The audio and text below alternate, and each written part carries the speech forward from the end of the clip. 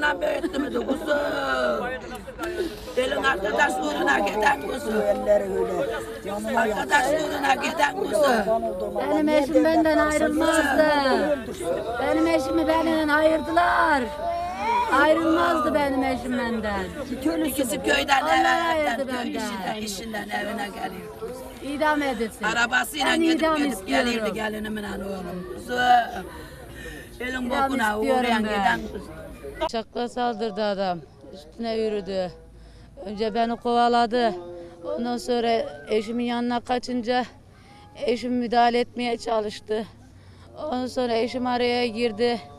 Dayısının oğluyla beraber bıçağı falan almaya çalıştılar. Alamadılar. Adam bıçakla saldırdı. Hiçbir şey yapamadık. O adamın idam olmasını istiyorum ben. Benim çocuklarımı yetim bıraktı. Cezasını neyse verilsin. Daha bir yaşında kuzum. Benim bir buçuk yaşındaki çocuğumu babasız bıraktı. İdam edilsin o. Çeksin o çeksin. Cezasını çeksin kimse. Beni eşi, evet beni de kovaladı. İlk önce beni kovaladı. Ondan sonra ben eşimin yanına kaçtım bağırarak. Ondan sonra eşim benim kaçtığımı görünce ayağa kalkıp adama engel olmaya çalıştı. Kaçmasaydım adam beni rehine alacaktı. Anlamıştım ben. Ben o adamın idam edilmesini istiyorum. Şikayetçiyim sonuna kadar.